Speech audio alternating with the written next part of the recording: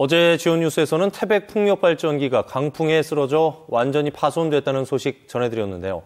사고 원인 규명에만 최소 한 달 이상이 걸릴 것으로 보이면서 태백시의 부채 상환을 위한 매각 계획에 차질이 불가피할 것으로 보입니다. 보도에 김기태 기자입니다.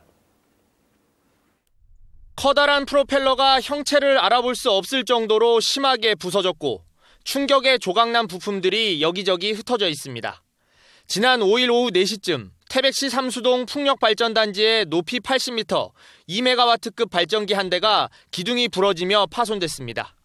날씨가 좋지 않아 오가는 사람이 없어 다행히 인명피해는 없었지만 자칫 대형 참사로 이어질 뻔한 아찔한 상황이었습니다.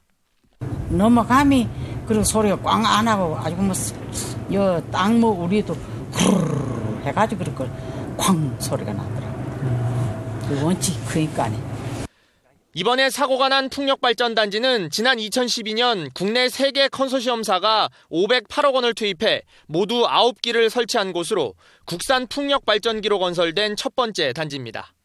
문제는 이번 풍력발전기 사고로 인해 태백시가 추진하고 있는 공유재산 매각 작업에 차질이 불가피해졌다는 점입니다. 태백시는 당초 귀내미 마을 풍력발전단지와 기종이 같은 매봉산 풍력발전단지를 오는 22일까지 매각할 예정이었습니다.